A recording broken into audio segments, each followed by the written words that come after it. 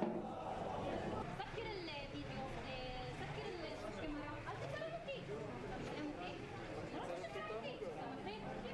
The Israeli police are continuing security measures in and around the area of the Temple Mount and the Old City in order to prevent any further incidents.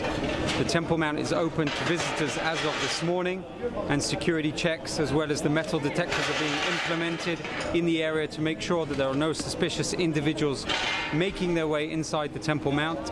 And we're continuing to make sure and guard the status quo on the Temple Mount the Temple Mount being open to Muslims who will go through security measures, open to visitors, tourists, as well as Jews.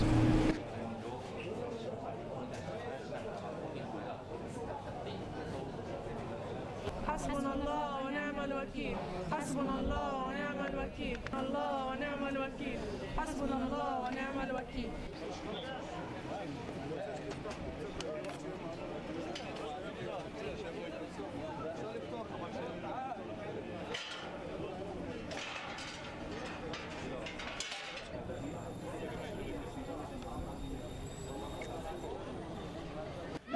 مكة أمة قائدها محمد. الله أكبر الله أكبر. ولله الأقصى إلنا إلنا مائلكم هيكل عنا. الأقصى إلنا إلنا مائلكم هيكل عنا.